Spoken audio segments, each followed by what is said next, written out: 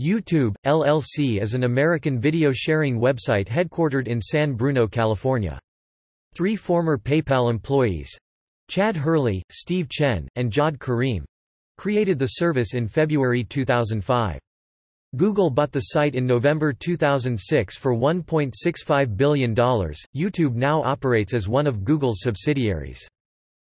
YouTube allows users to upload, view, rate, share, add to favorites, report, comment on videos, and subscribe to other users.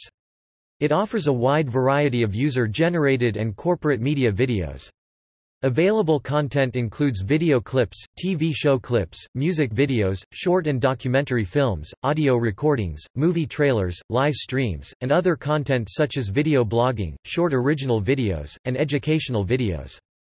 Most of the content on YouTube is uploaded by individuals, but media corporations including CBS, the BBC, Vevo, and Hulu offer some of their material via YouTube as part of the YouTube Partnership Program. Unregistered users can only watch videos on the site, while registered users are permitted to upload an unlimited number of videos and add comments to videos. Videos deemed potentially inappropriate are available only to registered users affirming themselves to be at least 18 years old. YouTube earns advertising revenue from Google AdSense, a program which targets ads according to site content and audience. The vast majority of its videos are free to view, but there are exceptions, including subscription-based premium channels, film rentals, as well as YouTube Premium, a subscription service offering ad-free access to the website and access to exclusive content made in partnership with existing users. As of February 2017, there were more than 400 hours of content uploaded to YouTube each minute, and 1 billion hours of content being watched on YouTube every day. As of August 2018, the website is ranked as the second most popular site in the world, according to Alexa Internet. Topic company history YouTube was founded by Chad Hurley, Steve Chen, and Jawed Karim, who were all early employees of PayPal. Hurley had studied design at Indiana University of Pennsylvania, and Chen and Karim studied computer science together at the University of Illinois at Urbana-Champaign. According to a story that has often been repeated in the media, Hurley and Chen developed the idea for YouTube during the early months of 2005, after they had experienced difficulty sharing videos that had been shot at a dinner party at Chen's apartment in San Francisco.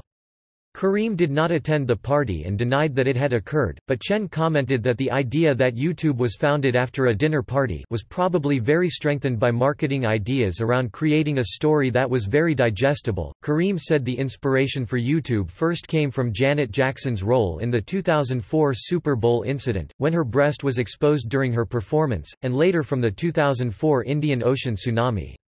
Karim could not easily find video clips of either event online, which led to the idea of a video sharing site. Hurley and Chen said that the original idea for YouTube was a video version of an online dating service, and had been influenced by the website Hot or Not. YouTube began as a venture capital-funded technology startup, primarily from an $11.5 million investment by Sequoia Capital and an $8 million investment from Artis Capital Management between November 2005 and April 2006. YouTube's early headquarters were situated above a pizzeria and Japanese restaurant in San Mateo, California. The domain name www.youtube.com was activated on February 14, 2005, and the website was developed over the subsequent months. The first YouTube video, titled Me at the Zoo, shows co-founder Jawed Karim at the San Diego Zoo. The video was uploaded on April 23, 2005, and can still be viewed on the site. YouTube offered the public a beta test of the site in May 2005. The first video to reach 1 million views was a Nike advertisement featuring Ronaldinho in November 2005. Following a $3.5 million investment from Sequoia Capital in November, the site launched officially on December 15, 2005, by which time the site was receiving 8 million views a day. The site grew rapidly and, in July 2006, the company announced that more than 65,000 new videos were being uploaded every day, and that the site was receiving 100 million video views per day. According to data published by market research company Comscore, YouTube is the dominant provider of online video in the United States, with a market share of around 43% and more than 14 billion views of videos in May 2010. In May 2011, 48 hours of new videos were uploaded to the site every minute, which increased to 60 hours every minute in January 2012, 100 hours every minute in May 2013, 300 hours every minute in November 2014, and 400 hours every minute in February 2017.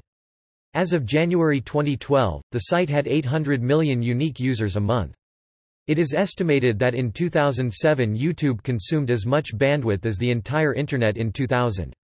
According to third-party web analytics providers, Alexa and SimilarWeb, YouTube is the second most visited website in the world. As of December 2016, SimilarWeb also lists YouTube as the top TV and video website globally, attracting more than 15 billion visitors per month. In October 2006, YouTube moved to a new office in San Bruno, California. The choice of the name www.youtube.com led to problems for a similarly named website, www.utube.com. The site's owner, Universal Tube and Rollform Equipment, filed a lawsuit against YouTube in November 2006 after being regularly overloaded by people looking for YouTube. Universal Tube has since changed the name of its website to www.youtubeonline.com.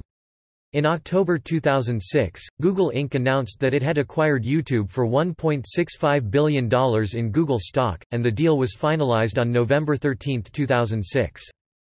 In March 2010, YouTube began free streaming of certain content, including 60 cricket matches of the Indian Premier League. According to YouTube, this was the first worldwide free online broadcast of a major sporting event. On March 31, 2010, the YouTube website launched a new design, with the aim of simplifying the interface and increasing the time users spend on the site. Google product manager Shiva Rajaraman commented, We really felt like we needed to step back and remove the clutter. In May 2010, YouTube videos were watched more than 2 billion times per day. This increased to 3 billion in May 2011, and 4 billion in January 2012. In February 2017, 1 billion hours of YouTube was watched every day. In October 2010, Hurley announced that he would be stepping down as chief executive officer of YouTube to take an advisory role, and that Salar Kamangar would take over as head of the company. In April 2011, James Zern, a YouTube software engineer, revealed that 30% of videos accounted for 99% of views on the site. In November 2011, the Google Plus social networking site was integrated directly with YouTube and the Chrome web browser, allowing YouTube videos to be viewed from within the Google Plus interface. In December 2011, YouTube launched a new version of the site interface, with the video channels displayed in a central column on the home page, similar to the news feeds of social networking sites. At the same time, a new version of the YouTube logo was introduced with a darker shade of red, the first change in design since October 2006. In May 2013, YouTube launched a pilot program for content providers to offer premium, subscription-based channels within the platform. In February 2014, Susan Wojcicki was appointed CEO of YouTube. In November 2014, YouTube announced a subscription service known as Music Key, which bundled ad-free streaming of music content on YouTube with the existing Google Play Music service. In February 2015, YouTube released a secondary mobile app known as YouTube Kids. The app is designed to provide an experience optimized for children. It features a simplified user interface, curated selections of channels featuring age-appropriate content, and parental control features.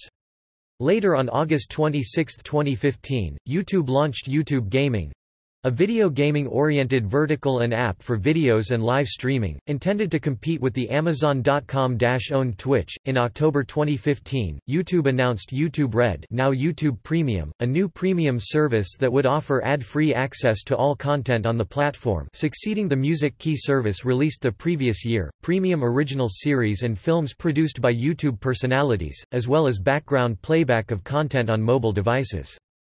YouTube also released YouTube Music, a third app oriented towards streaming and discovering the music content hosted on the YouTube platform. In January 2016, YouTube expanded its headquarters in San Bruno by purchasing an office park for $215 million. The complex has 554,000 square feet of space and can house up to 2,800 employees. On August 29, 2017, YouTube officially launched a redesign of its user interfaces based on Material Design Language, as well a redesigned logo that is built around the service's play button emblem. On April 3, 2018, a shooting took place at YouTube's headquarters in San Bruno, California. On May 17, 2018, YouTube announced the rebranding of YouTube Red as YouTube Premium accompanied by a major expansion of the service into Canada and 13 European markets, as well as the upcoming launch of a separate YouTube Music subscription. In September 2018, YouTube began to phase out the separate YouTube gaming website and app, and introduced a new gaming portal within the main service. YouTube staff argued that the separate platform was causing confusion, and that the integration would allow the features developed for the service including game-based portals and enhanced discoverability of gaming-related videos and live streaming to reach a broader audience through the main YouTube website.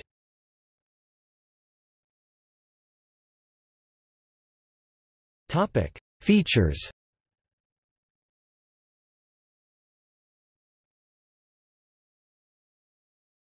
Topic: Video technology. YouTube primarily uses the VP9 and H.264, MPEG-4 AVC video formats, and the dynamic adaptive streaming over HTTP protocol.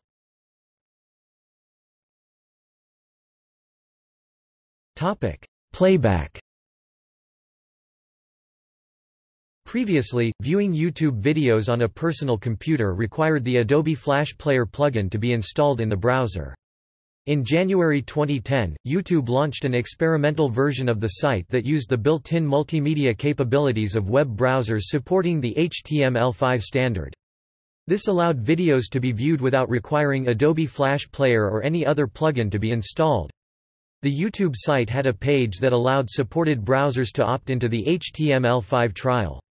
Only browsers that supported HTML5 video using the MP4 with H.264 video or WebM with VP8 video formats could play the videos, and not all videos on the site were available. On January 27, 2015, YouTube announced that HTML5 would be the default playback method on supported browsers. YouTube used to employ Adobe Dynamic Streaming for Flash, but with the switch to HTML5 video now streams video using Dynamic Adaptive Streaming over HTTP MPEG an adaptive bit rate HTTP-based streaming solution optimizing the bitrate and quality for the available network.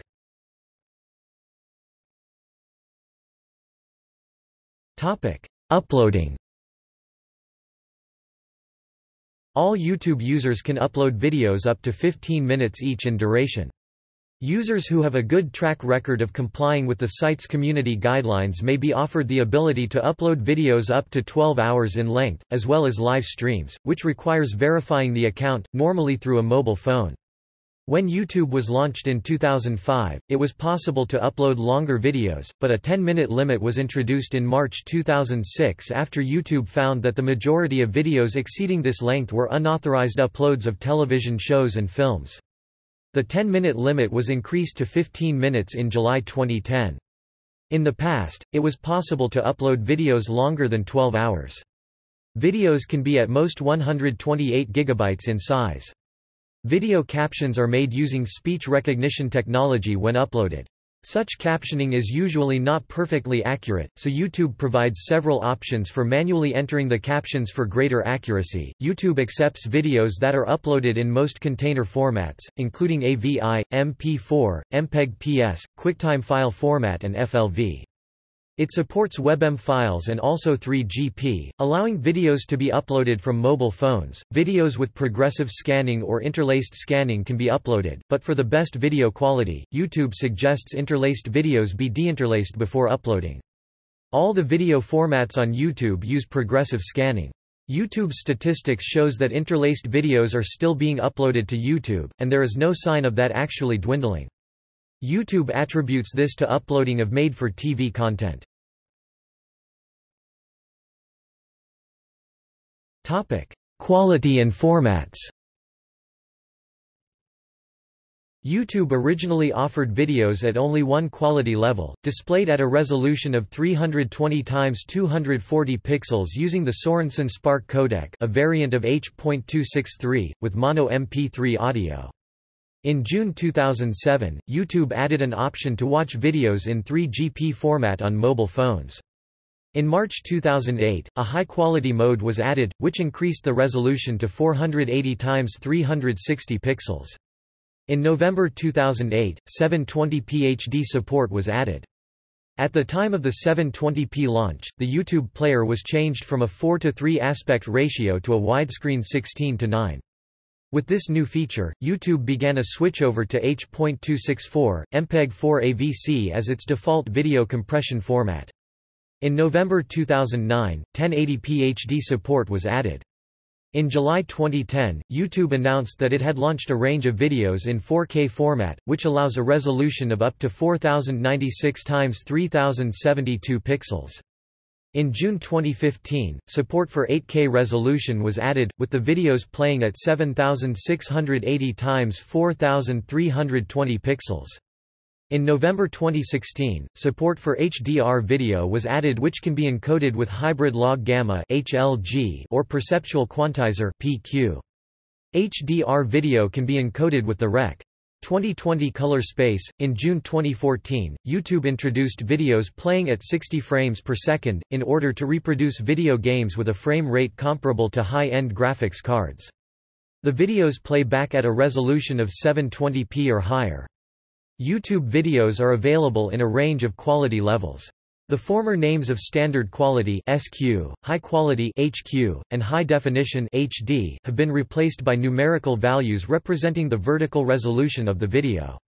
The default video stream is encoded in the VP9 format with stereo Opus audio. If VP9 WebM is not supported in the browser device or the browser's user agent reports Windows XP, then H.264 MPEG-4 AVC video with stereo AAC audio is used instead. Topic: Live streaming. YouTube carried out early experiments with live streaming, including a concert by U2 in 2009, and a question-and-answer session with U.S. President Barack Obama in February 2010. These tests had relied on technology from third-party partners, but in September 2010, YouTube began testing its own live streaming infrastructure. In April 2011, YouTube announced the rollout of YouTube Live, with a portal page at the URL www.youtube.com live. The creation of live streams was initially limited to select partners. It was used for real-time broadcasting of events such as the 2012 Olympics in London.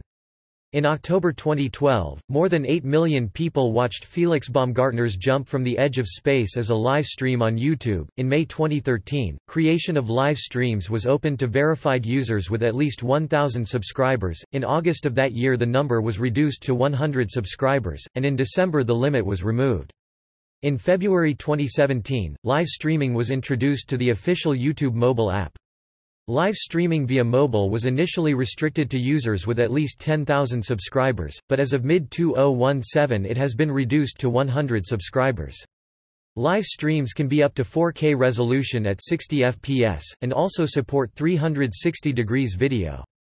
In February 2017, a live streaming feature called Super Chat was introduced, which allows viewers to donate between $1 and $500 to have their comment highlighted. 3D videos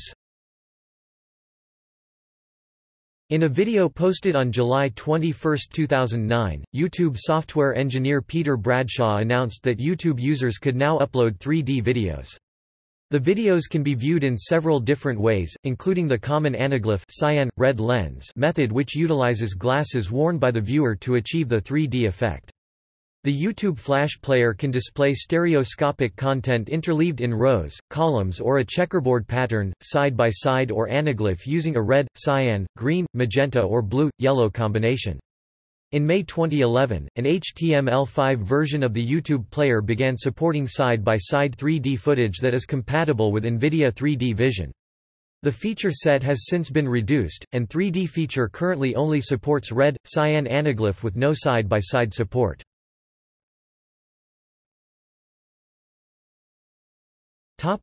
360-degree videos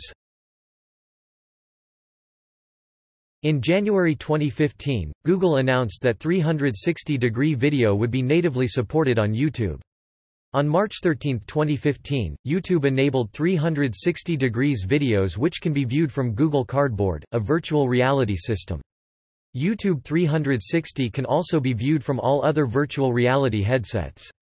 Live streaming of 360 degrees video at up to 4K resolution is also supported. In 2017, YouTube began to promote an alternative stereoscopic video format known as VR 180, which is limited to a 180 degree field of view, but is promoted as being easier to produce than 360 degree video, and allowing more depth to be maintained by not subjecting the video to equirectangular projection. Topic: Reels. In late November 2018, YouTube announced that it would introduce a story feature, similar to ones used by Instagram, Snapchat and Facebook, which would allow its content creators to engage fans without posting a full video. The stories, called Reels, would be up to 30 seconds in length and would allow users to add filters, music, text and more, including new YouTube Y stickers. Unlike those of other platforms, YouTube's stories could be made multiple times and would not expire. Instead of being placed at the top of the user interface as is commonly done, the Reels option would be featured as a separate tab on the creator's channel. As of its announcement, only certain content creators would have access to the Reels option, which would be utilized as a beta version for further feedback and testing. If users engage more with the Reels option, it may end up as a more permanent feature and trigger their appearance on the viewer's YouTube home page as recommendations. As of November 28, 2018, YouTube did not specify when Reels would arrive in beta or when it would be publicly released. Topic: User features.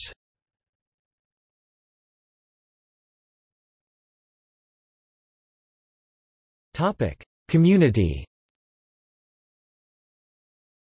On September 13, 2016, YouTube launched a public beta of Community, a social media-based feature that allows users to post text, images including GIFs, live videos and others in a separate Community tab on their channel. Prior to the release, several creators had been consulted to suggest tools community could incorporate that they would find useful. These YouTubers included Vlogbrothers, ASAP Science, Lilly Singh, The Game Theorists, Carmen, The Key of Awesome, The Kloons, Peter Hollens, Rosianna Halse Rojas, Sam Tsui, Threadbanger and Vsauce 3.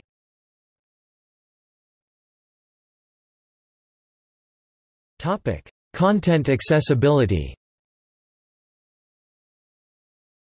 YouTube offers users the ability to view its videos on web pages outside their website. Each YouTube video is accompanied by a piece of HTML that can be used to embed it on any page on the web. This functionality is often used to embed YouTube videos in social networking pages and blogs. Users wishing to post a video discussing, inspired by or related to another user's video are able to make a video response on August 27, 2013, YouTube announced that it would remove video responses for being an underused feature. Embedding, rating, commenting and response posting can be disabled by the video owner. YouTube does not usually offer a download link for its videos, and intends for them to be viewed through its website interface. A small number of videos, can be downloaded as MP4 files. Numerous third-party websites, applications and browser plugins allow users to download YouTube videos.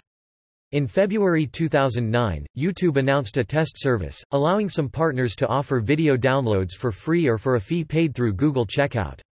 In June 2012, Google sent cease and desist letters threatening legal action against several websites offering online download and conversion of YouTube videos.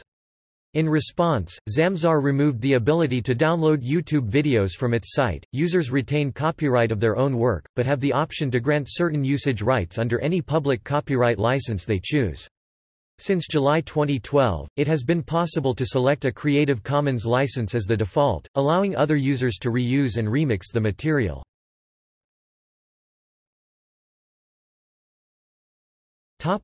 Platforms Most modern smartphones are capable of accessing YouTube videos, either within an application or through an optimized website. YouTube Mobile was launched in June 2007, using RTSP streaming for the video. Not all of YouTube's videos are available on the mobile version of the site.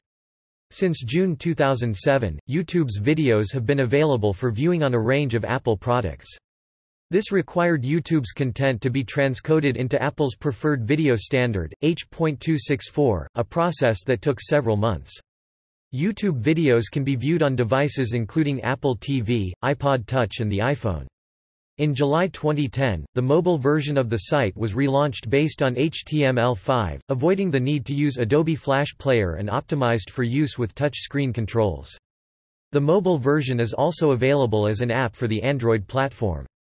In September 2012, YouTube launched its first app for the iPhone, following the decision to drop YouTube as one of the preloaded apps in the iPhone 5 and iOS 6 operating system. According to Global Web Index, YouTube was used by 35% of smartphone users between April and June 2013, making it the third most used app. A TiVo service update in July 2008 allowed the system to search and play YouTube videos. In January 2009, YouTube launched YouTube for TV, a version of the website tailored for set-top boxes and other TV-based media devices with web browsers, initially allowing its videos to be viewed on the PlayStation 3 and Wii video game consoles. In June 2009, YouTube XL was introduced, which has a simplified interface designed for viewing on a standard television screen. YouTube is also available as an app on Xbox Live. On November 15, 2012, Google launched an official app for the Wii, allowing users to watch YouTube videos from the Wii channel. An app is also available for Wii U and Nintendo 3DS, and videos can be viewed on the Wii U Internet browser using HTML5. Google made YouTube available on the Roku Player on December 17, 2013, and, in October 2014, the Sony PlayStation 4. In November 2018, YouTube launched as a downloadable app for the Nintendo Switch.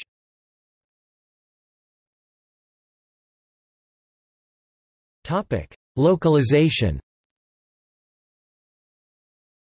On June 19, 2007, Google CEO Eric Schmidt traveled to Paris to launch the new localization system. The interface of the website is available with localized versions in 89 countries, one territory Hong Kong, and a worldwide version. The YouTube interface suggests which local version should be chosen on the basis of the IP address of the user.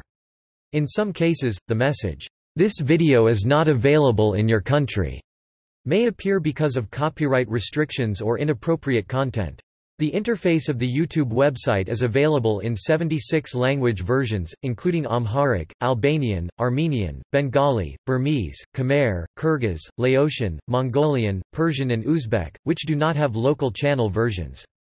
Access to YouTube was blocked in Turkey between 2008 and 2010, following controversy over the posting of videos deemed insulting to Mustafa Kemal Ataturk and some material offensive to Muslims. In October 2012, a local version of YouTube was launched in Turkey, with the domain youtube.com.tr. The local version is subject to the content regulations found in Turkish law.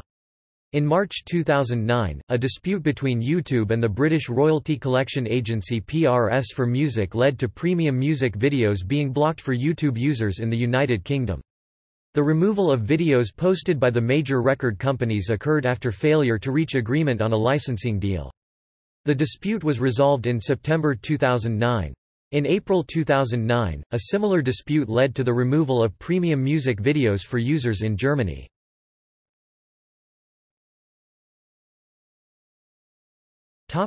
YouTube Premium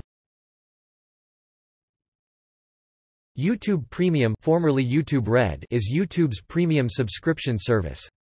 It offers advertising-free streaming, access to exclusive content, background and offline video playback on mobile devices, and access to the Google Play Music All Access service. YouTube Premium was originally announced on November 12, 2014, as Music Key, a subscription music streaming service, and was intended to integrate with and replace the existing Google Play Music All Access service. On October 28, 2015, the service was relaunched as YouTube Red, offering ad-free streaming of all videos, as well as access to exclusive original content. As of November 2016, the service has 1.5 million subscribers, with a further million on a free trial basis. As of June 2017, the first season of YouTube Red Originals had gotten 250 million views in total. In May 2014, before Music Key service was launched, the independent music trade organization Worldwide Independent Network alleged that YouTube was using non negotiable contracts with independent labels that were undervalued in comparison to other streaming services, and that YouTube would block all music content from labels who do not reach a deal to be included on the paid service. In a statement to the Financial Times in June 2014, Robert Kyncl confirmed that YouTube would block the content of labels who do not negotiate deals to be included in the paid service, to ensure that all content on the platform is governed by its new contractual terms. Stating that 90% of labels had reached deals, he went on to say that while we wish that we had a 100% success rate, we understand that is not likely an achievable goal and therefore it is our responsibility to our users and the industry to launch the enhanced music experience." The Financial Times later reported that YouTube had reached an aggregate deal with Merlin Network—a trade group representing over 20,000 independent labels, for their inclusion in the service. However, YouTube itself has not confirmed the deal. On September 28, 2016, YouTube named Lyor Cohen, the co-founder of 300 Entertainment and former Warner Music Group executive, the global head of music.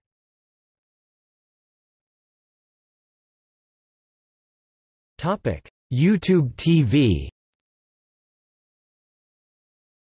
On February 28, 2017, in a press announcement held at YouTube Space Los Angeles, YouTube announced the launch of YouTube TV, an over-the-top MVPD-style subscription service that would be available for United States customers at a price of $35 per month. Initially launching in five major markets New York City, Los Angeles, Chicago, Philadelphia and San Francisco on April 5, 2017, the service offers live streams of programming from the five major broadcast networks ABC, CBS, The CW, Fox and NBC, as well as approximately 40 cable channels owned by the corporate parents of those networks, the Walt Disney Company, CBS Corporation, 21st Century Fox, NBC Universal and Turner Broadcasting system including among others Bravo, USA Network, Syfy, Disney Channel, CNN, Cartoon Network, E! Fox Sports 1 Freeform, FX and ESPN. Subscribers can also receive Showtime and Fox Soccer Plus as optional add-ons for an extra fee, and can access YouTube Premium original content YouTube TV does not include a YouTube Red subscription. During the 2017 World Series in which it was the presenting sponsor, YouTube TV ads were placed behind the home plate. The trademarked red play button logo appeared at the center of the screen, mimicking YouTube's interface.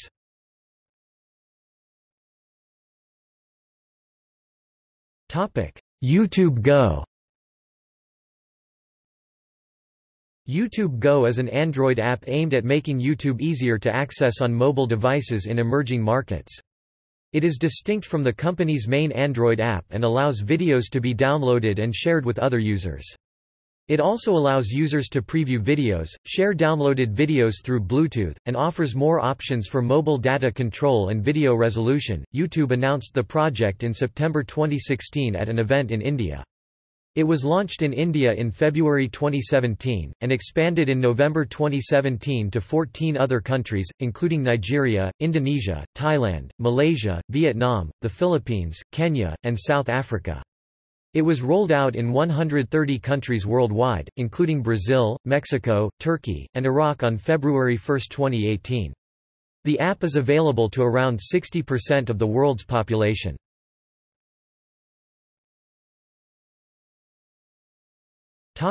YouTube Music In early 2018, Cohen began hinting at the possible launch of YouTube's new subscription music streaming service, a platform that would compete with other services such as Spotify and Apple Music. On the 22nd of May 2018, the music streaming platform named YouTube Music was launched.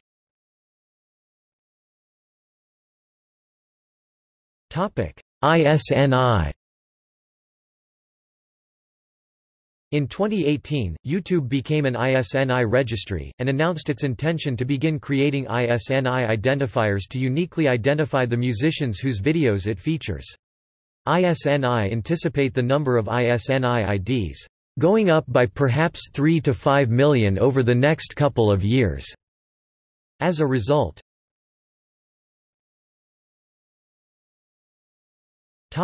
April Fools YouTube featured an April Fool's prank on the site on April 1 of every year from 2008 to 2016. In 2008, all links to videos on the main page were redirected to Rick Astley's music video, Never Gonna Give You Up, a prank known as Rickrolling. The next year, when clicking on a video on the main page, the whole page turned upside down, which YouTube claimed was a new layout. In 2010, YouTube temporarily released a text P Mode which transformed colors in videos to random uppercase letters, in order to reduce bandwidth costs by $1 per second.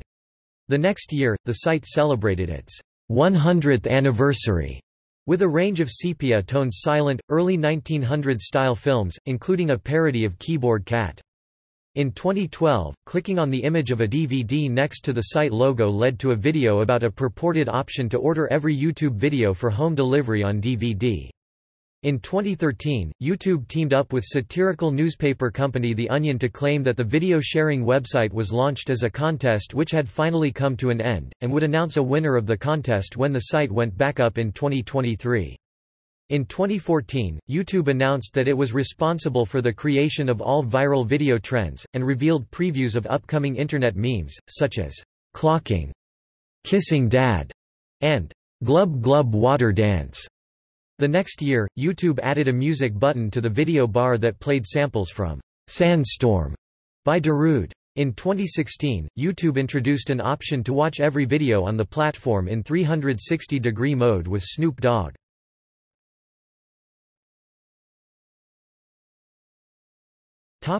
Social impact Both private individuals and large production companies have used YouTube to grow audiences. Independent content creators have built grassroots followings numbering in the thousands at very little cost or effort, while mass retail and radio promotion proved problematic. Concurrently, old media celebrities moved into the website at the invitation of a YouTube management that witnessed early content creators accruing substantial followings, and perceived audience sizes potentially larger than that attainable by television. While YouTube's revenue-sharing partner program made it possible to earn a substantial living as a video producer, its top 500 partners each earning more than $100,000 annually and its 10 highest earning channels grossing from $2.5 million to $12 million.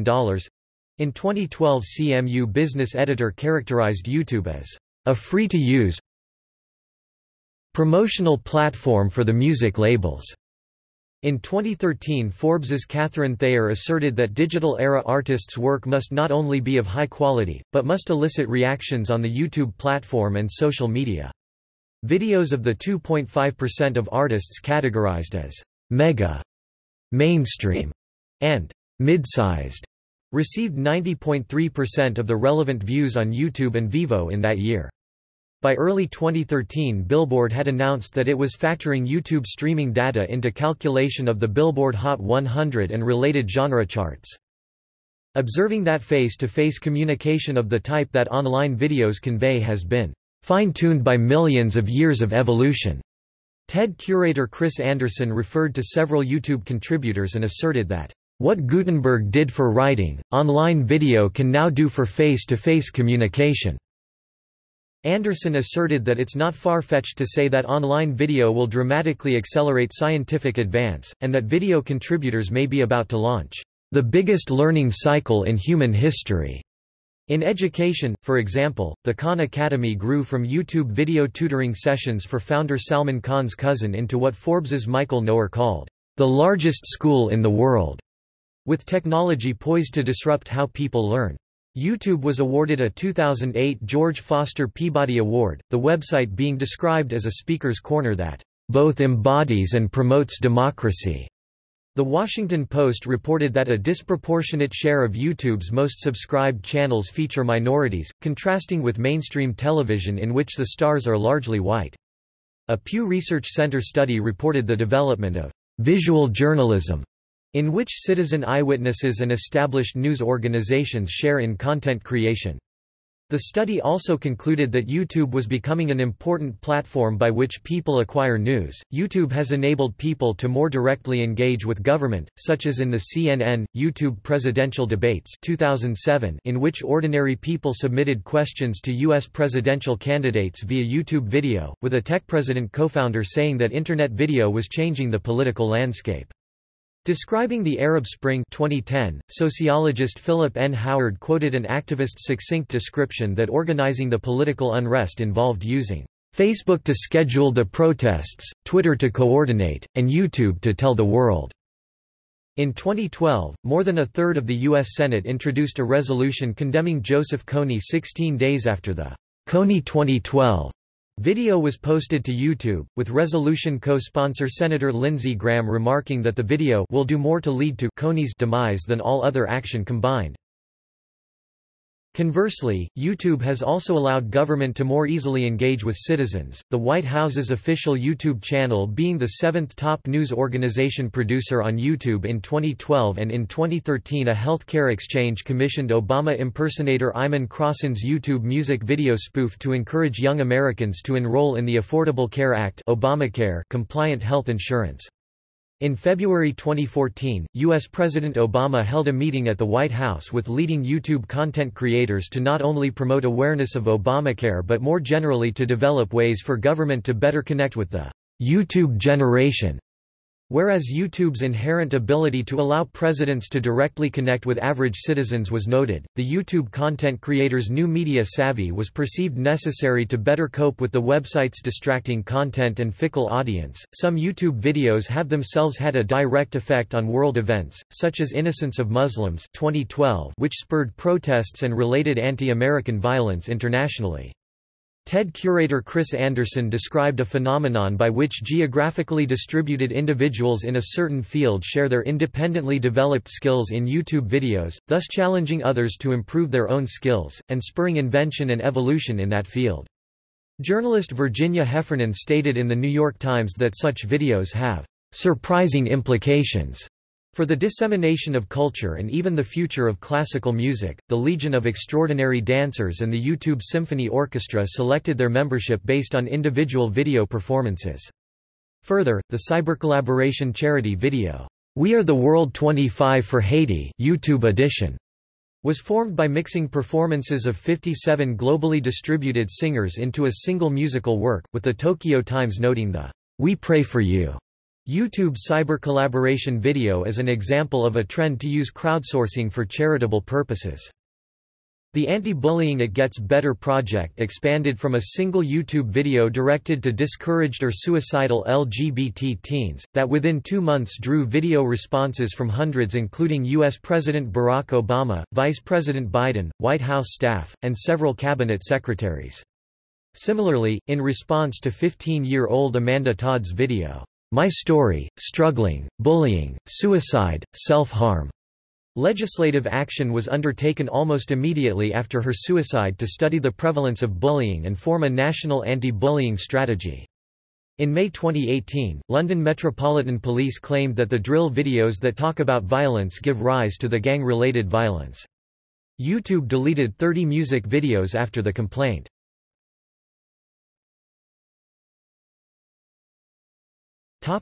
Revenue Google does not provide detailed figures for YouTube's running costs, and YouTube's revenues in 2007 were noted as not material in a regulatory filing. In June 2008, a Forbes magazine article projected the 2008 revenue at $200 million, noting progress in advertising sales. In January 2012, it was estimated that visitors to YouTube spent an average of 15 minutes a day on the site, in contrast to the 4 or 5 hours a day spent by a typical U.S. citizen watching television. In 2012, YouTube's revenue from its ads program was estimated at $3.7 billion. In 2013 it nearly doubled and estimated to hit $5.6 billion according to eMarketer, while others estimated $4.7 billion. The vast majority of videos on YouTube are free to view and supported by advertising. In May 2013, YouTube introduced a trial scheme of 53 subscription channels with prices ranging from 99 cents to $6.99 a month. The move was seen as an attempt to compete with other providers of online subscription services such as Netflix and Hulu. In 2017, viewers on average watch YouTube on mobile devices for more than an hour every day.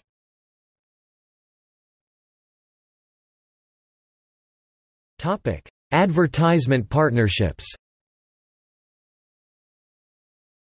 YouTube entered into a marketing and advertising partnership with NBC in June 2006. In March 2007, it struck a deal with BBC for three channels with BBC content, one for news and two for entertainment. In November 2008, YouTube reached an agreement with MGM, Lionsgate Entertainment, and CBS, allowing the companies to post full-length films and television episodes on the site, accompanied by advertisements in a section for U.S. viewers called shows. The move was intended to create competition with websites such as Hulu, which features material from NBC, Fox, and Disney. In November 2009, YouTube launched a version of shows Available to UK viewers, offering around 4,000 full-length shows from more than 60 partners. In January 2010, YouTube introduced an online film rentals service, which is only available to users in the United States, Canada, and the UK as of 2010. The service offers over 6,000 films.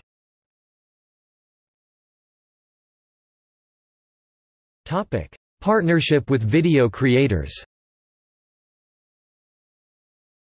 In May 2007, YouTube launched its partner program YPP, a system based on AdSense which allows the uploader of the video to share the revenue produced by advertising on the site. YouTube typically takes 45% of the advertising revenue from videos in the partner program, with 55% going to the uploader. There are over a million members of the YouTube partner program. According to TubeMogul, in 2013 a pre-roll advertisement on YouTube one that is shown before the video starts cost advertisers on average $7.60 per 1,000 views. Usually no more than half of eligible videos have a pre-roll advertisement, due to a lack of interested advertisers. In 2013, YouTube introduced an option for channels with at least a thousand subscribers to require a paid subscription in order for viewers to watch videos. In April 2017, YouTube set an eligibility requirement of 10,000 lifetime views for a paid subscription.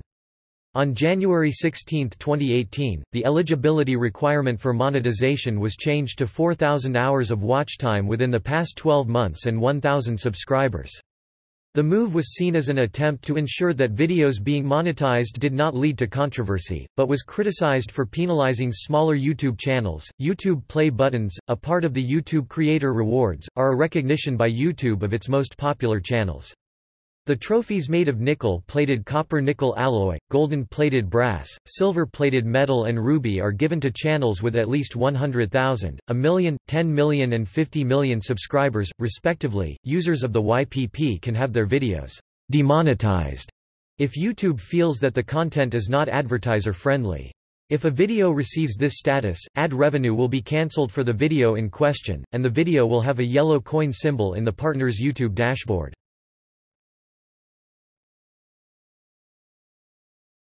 Topic: Revenue to copyright holders. Much of YouTube's revenue goes to the copyright holders of the videos. In 2010, it was reported that nearly a third of the videos with advertisements were uploaded without permission of the copyright holders. YouTube gives an option for copyright holders to locate and remove their videos or to have them continue running for revenue. In May 2013, Nintendo began enforcing its copyright ownership and claiming the advertising revenue from video creators who posted screenshots of its games. In February 2015, Nintendo agreed to share the revenue with the video creators.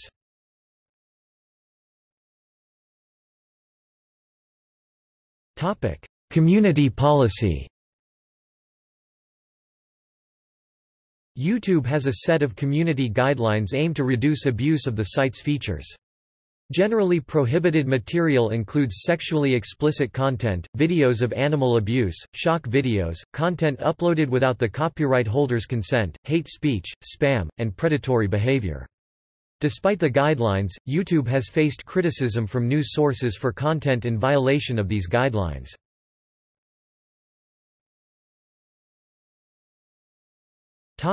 Copyrighted material At the time of uploading a video, YouTube users are shown a message asking them not to violate copyright laws. Despite this advice, there are still many unauthorized clips of copyrighted material on YouTube. YouTube does not view videos before they are posted online, and it is left to copyright holders to issue a DMCA takedown notice pursuant to the terms of the Online Copyright Infringement Liability Limitation Act. Any successful complaint about copyright infringement results in a YouTube copyright strike. Three successful complaints for copyright infringement against a user account will result in the account and all of its uploaded videos being deleted. Organizations including Viacom, Mediaset, and the English Premier League have filed lawsuits against YouTube, claiming that it has done too little to prevent the uploading of copyrighted material. Viacom, demanding $1 billion in damages, said that it had found more than 150,000 unauthorized clips of its material on YouTube that had been viewed an astounding 1.5 billion times. YouTube responded by stating that it goes far beyond its legal obligations in assisting content owners to protect their works. During the same court battle, Viacom won a court ruling requiring YouTube to hand over 12 terabytes of data detailing the viewing habits of every user who has watched videos on the site. The decision was criticized by the Electronic Frontier Foundation, which called the court ruling a setback to privacy rights. In June 2010, Viacom's lawsuit against Google was rejected in a summary judgment, with U.S. federal judge Louis L. Stanton stating that Google was protected by provisions of the Digital Millennium Copyright Act. Viacom announced its intention to appeal the ruling. On April 5, 2012, the United States Court of Appeals for the Second Circuit reinstated the case, allowing Viacom's lawsuit against Google to be heard in court again. On March 18, 2014, the lawsuit was settled after seven years with an undisclosed agreement. In August 2008, a U.S. court ruled in Lenz v.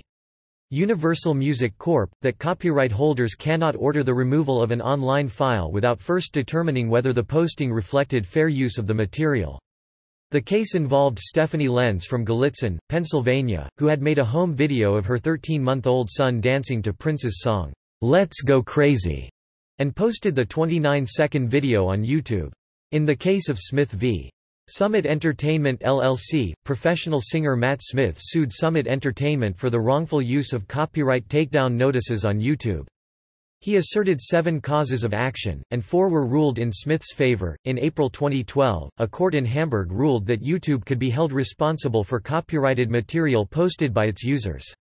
The performance rights organization GEMA argued that YouTube had not done enough to prevent the uploading of German copyrighted music. YouTube responded by stating, We remain committed to finding a solution to the music licensing issue in Germany that will benefit artists, composers, authors, publishers and record labels, as well as the wider YouTube community. On November 1, 2016, the dispute with GEMA was resolved, with Google Content ID being used to allow advertisements to be added to videos with content protected by GEMA. In April 2013, it was reported that Universal Music Group and YouTube have a contractual agreement that prevents content blocked on YouTube by a request from UMG from being restored, even if the uploader of the video files a DMCA counter notice. When a dispute occurs, the uploader of the video has to contact UMG. YouTube's owner Google announced in November 2015 that they would help cover the legal cost in select cases where they believe fair use defenses apply.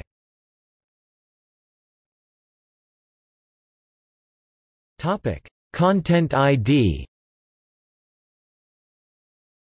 In June 2007, YouTube began trials of a system for automatic detection of uploaded videos that infringe copyright. Google CEO Eric Schmidt regarded this system as necessary for resolving lawsuits such as the one from Viacom, which alleged that YouTube profited from content that it did not have the right to distribute. The system, which was initially called video identification, and later became known as Content ID, creates an ID file for copyrighted audio and video material, and stores it in a database. When a video is uploaded, it is checked against the database, and flags the video as a copyright violation if a match is found. When this occurs, the content owner has the choice of blocking the video to make it unviewable, tracking the viewing statistics of the video, or adding advertisements to the video. By 2010, YouTube had already invested tens of millions of dollars in this technology. In 2011, YouTube described Content ID as very accurate in finding uploads that look similar to reference files that are of sufficient length and quality to generate an effective ID file. By 2012, Content ID accounted for over a third of the monetized views on YouTube. An independent test in 2009 uploaded multiple versions of the same song to YouTube, and concluded that while the system was surprisingly resilient in finding copyright violations in the audio tracks of videos, it was not infallible. The use of Content ID to remove material automatically has led to controversy in some cases, as the videos have not been checked by a human for fair use. If a YouTube user disagrees with a decision by Content ID, it is possible to fill in a form disputing the decision. Prior to 2016, videos weren't monetized until the dispute was resolved. Since April 2016, videos continue to be monetized while the dispute is in progress, and the money goes to whoever won the dispute. Should the uploader want to monetize the video again, they may remove the disputed audio in the Video Manager YouTube has cited the effectiveness of Content ID as one of the reasons why the site's rules were modified in December 2010 to allow some users to upload videos of unlimited length.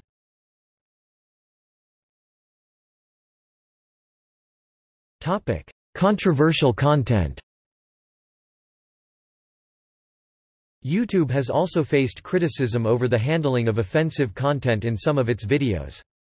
The uploading of videos containing defamation, pornography, and material encouraging criminal conduct is forbidden by YouTube's community guidelines.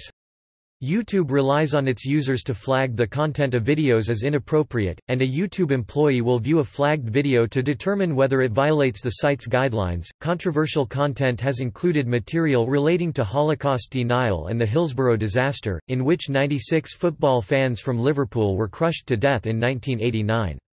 In July 2008, the Culture and Media Committee of the House of Commons of the United Kingdom stated that it was unimpressed with YouTube's system for policing its videos, and argued that proactive review of content should be standard practice for sites hosting user-generated content. YouTube responded by stating, we have strict rules on what's allowed, and a system that enables anyone who sees inappropriate content to report it to our 24-7 review team and have it dealt with promptly. We educate our community on the rules and include a direct link from every YouTube page to make this process as easy as possible for our users.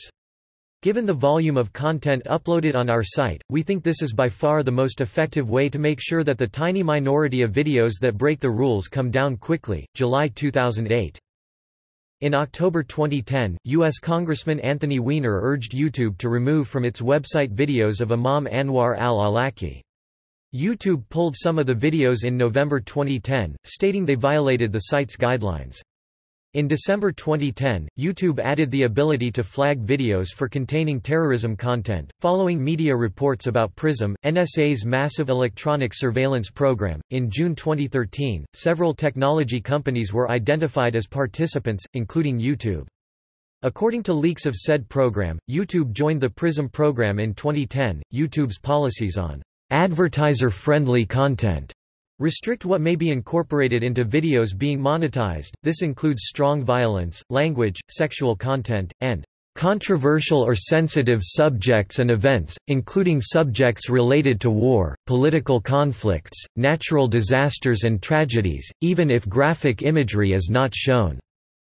Unless the content is "...usually newsworthy or comedic and the creator's intent is to inform or entertain." In September 2016, after introducing an enhanced notification system to inform users of these violations, YouTube's policies were criticized by prominent users, including Philip DeFranco and Vlogbrothers.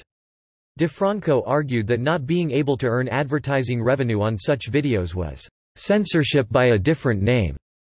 A YouTube spokesperson stated that while the policy itself was not new, the service had improved the notification and appeal process to ensure better communication to our creators. In March 2017, the government of the United Kingdom pulled its advertising campaigns from YouTube, after reports that its ads had appeared on videos containing extremism content. The government demanded assurances that its advertising would be delivered in a safe and appropriate way. The Guardian newspaper, as well as other major British and US brands, similarly suspended their advertising on YouTube in response to their advertising appearing near offensive content. Google stated that it had begun an extensive review of our advertising policies and have made a public commitment to put in place changes that give brands more control over where their ads appear. In early April 2017, the YouTube channel H3H3 Productions presented evidence claiming that a Wall Street Journal article had fabricated screenshots showing major brand advertising on an offensive video containing Johnny Rebel music overlaid on a Chief Keef music video, citing that the video itself had not earned any ad revenue for the uploader.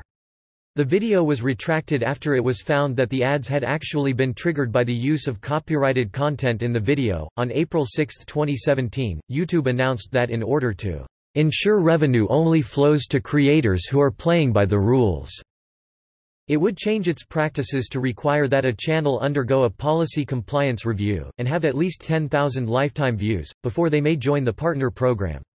On January 16, 2018, YouTube announced tighter thresholds where creators must have at least 4,000 hours of watch time within the past 12 months and at least 1,000 subscribers.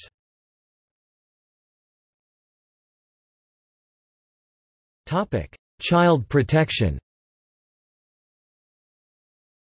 In 2017, YouTube was associated with several controversies related to child safety. During Q2, the owners of popular channel DaddyOFive, which featured themselves playing pranks on their children, were accused of child abuse.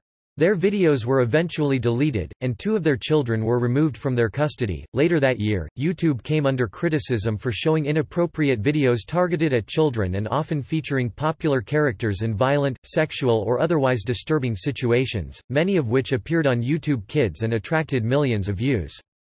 The term, Elsagate was coined on the Internet and then used by various news outlets to refer to this controversy. On November 11, 2017, YouTube announced it was strengthening site security to protect children from unsuitable content. Later that month, the company started to mass delete videos and channels that made improper use of family-friendly characters. As part as a broader concern regarding child safety on YouTube, the wave of deletions also targeted channels which showed children taking part in inappropriate or dangerous activities under the guidance of adults. Most notably, the company removed Toy Freaks, a channel with over 8.5 million subscribers, that featured a father and his two daughters in odd and upsetting situations. According to analytics specialist Socialblade, it earned up to £8.7 million annually prior to its deletion. Also in November 2017, it was revealed in the media that many videos featuring children, often uploaded by the minors themselves, and showing innocent content, were attracting comments from pedophiles and circulating on the dark web, with predators finding the videos by typing in certain keywords in Russian. As a result of the controversy, which added to the concern about Elsagate, Several major advertisers whose ads had been running against such videos froze spending on YouTube.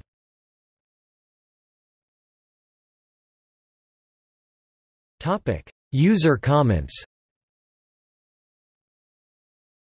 Most videos enable users to leave comments, and these have attracted attention for the negative aspects of both their form and content. In 2006, Time praised Web 2.0 for enabling community and collaboration on a scale never seen before, and added that YouTube harnesses the stupidity of crowds as well as its wisdom. Some of the comments on YouTube make you weep for the future of humanity just for the spelling alone, never mind the obscenity and the naked hatred.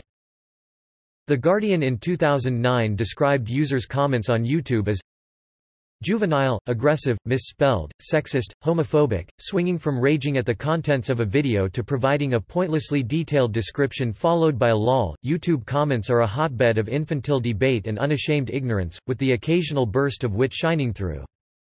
In September 2008, The Daily Telegraph commented that YouTube was notorious for some of the most confrontational and ill-formed comment exchanges on the Internet, and reported on YouTube Comment Snob, a new piece of software that blocks rude and illiterate posts. The Huffington Post noted in April 2012 that finding comments on YouTube that appear offensive, stupid and crass to the vast majority of the people is hardly difficult. On November 6, 2013, Google implemented a comment system oriented on Google Plus that required all YouTube users to use a Google Plus account in order to comment on videos. The stated motivation for the change was giving creators more power to moderate and block comments, thereby addressing frequent criticisms of their quality and tone. The new system restored the ability to include URLs in comments, which had previously been removed due to problems with abuse. In response, YouTube co-founder Jawed Karim posted the question, "'Why the fuck do I need a Google Plus account to comment on a video?' on his YouTube channel to express his negative opinion of the change. The official YouTube announcement received 20,097 thumbs down votes and generated more than 32,000 comments in two days. Writing in the Newsday blog Silicon Island, Chase Melvin noted that, Google Plus is nowhere near as popular a social media network as Facebook, but it's essentially being forced upon millions of YouTube users who don't want to lose their ability to comment on videos. And Discussion forums across the Internet are already bursting with outcry against the new comment system. In the same article Melvin goes on to say, Perhaps user complaints are justified, but the idea of revamping the old system isn't so bad. Think of the crude, misogynistic and racially charged mudslinging that has transpired over the last eight years on YouTube without any discernible moderation. Isn't any attempt to curb unidentified libelers worth a shot? The system is far from perfect, but Google should be lauded for trying to alleviate some of the damage caused by irate YouTubers hiding behind animosity and anonymity. On July 27, 2015, Google announced in a blog post that it would be removing the requirement to sign up to a Google Plus account to post comments to YouTube. On November 3, 2016, YouTube announced a trial scheme which allows the creators of videos to decide whether to approve, hide, or report the comments posted on videos based on an algorithm that detects potentially offensive comments. Creators may also choose to keep or delete comments with links or hashtags in order to combat spam. They can also allow other users to moderate their comments.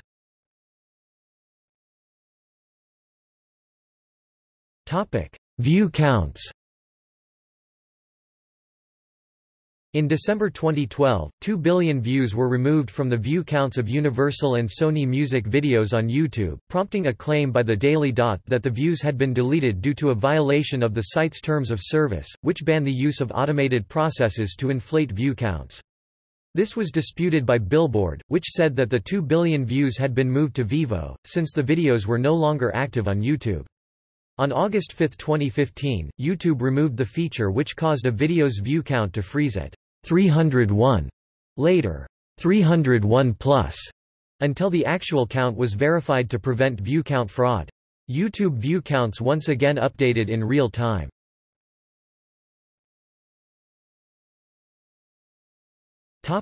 Censorship and filtering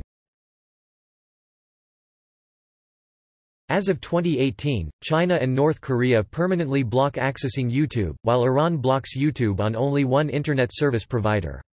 Governments block YouTube for a variety of reasons, including limiting public access and exposure to content that may ignite social or political unrest.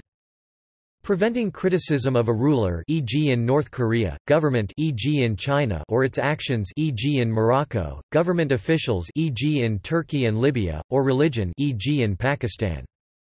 Violations of national laws, including copyright and intellectual property protection laws e.g. in Germany, violations of hate speech, ethics, or morality-based laws, e.g. in Iran, and preventing access to videos judged inappropriate for youth, which is also done by YouTube with the YouTube Kids app and with restricted mode. Reducing distractions at work or school, e.g. in Australia. Reducing the amount of network bandwidth used, in some countries, YouTube is completely blocked, either through a long-term standing ban or for more limited periods of time such as during periods of unrest, the run-up to an election, or in response to upcoming political anniversaries. In other countries access to the website as a whole remains open, but access to specific videos is blocked. In cases where the entire site is banned due to one particular video, YouTube will often agree to remove or limit access to that video in order to restore service. Businesses, schools, government agencies, and other private institutions often block social media sites, including YouTube, due to bandwidth limitations and the site's potential for distraction. Several countries have previously blocked access to YouTube. Morocco blocked access in May 2007, possibly as a result of videos critical of Morocco's actions in Western Sahara. YouTube became accessible again on May 30, 2007, after Maroc Telecom unofficially announced that the denied access to the website was a mere technical glitch. Turkey blocked access between 2008 and 2010 after controversy over videos deemed insulting to Mustafa Kemal Ataturk. In November 2010, a video of the Turkish politician Deniz Baykal caused the site to be blocked again briefly, and the site was threatened with a new shutdown if it did not remove the video. During the two-and-a-half-year block of YouTube, the video-sharing website remained the eighth most accessed site in Turkey. In 2014, Turkey blocked the access for the second time, after a high-level intelligence leak. Pakistan blocked access on February 23, 2008, because of offensive material towards the Islamic faith, including display of the Danish cartoons of Muhammad. This led to a near-global blackout of the YouTube site for around two hours, as the Pakistani block was inadvertently transferred to other countries. On February 26, 2008, the ban was lifted after the website had removed the objectionable content from its servers at the request of the government. Many Pakistanis circumvented the three-day block by using virtual private network software. In May 2010, following the Everybody Draw Muhammad Day, Pakistan again blocked access to YouTube, citing growing sacrilegious content. The ban was lifted on May 27, 2010, after the website removed the objectionable content from its servers at the request of the government. However, individual videos deemed offensive to Muslims posted on YouTube will continue to be blocked. Pakistan again placed a ban on YouTube in September 2012, after the site refused to remove the film Innocence of Muslims, with the ban still in operation as of September 2013. The ban was lifted in January 2016 after YouTube launched a Pakistan-specific version. Turkmenistan blocked access on December 25, 2009, for unknown reasons. Other websites, such as LiveJournal were also blocked. Libya blocked access on January 24, 2010, because of videos that featured demonstrations in the city of Benghazi by families of detainees who were killed in Abu Salim prison in 1996, and videos of family members of Libyan leader Muammar Gaddafi at parties. The blocking was criticized by Human Rights Watch. In November 2011, after the Libyan civil war, YouTube was once again allowed in Libya. Afghanistan, Bangladesh, Russia, and Sudan blocked access in September 2012 following controversy over a 14-minute trailer for the film Innocence of Muslims which had been posted on the site. In Libya and Egypt, the Innocence of Muslims trailer was blamed for violent protests in September 2012. YouTube stated that this video, which is widely available on the web, is clearly within our guidelines and so will stay on YouTube. However, given the very difficult situation in Libya and Egypt we have temporarily restricted access in both countries.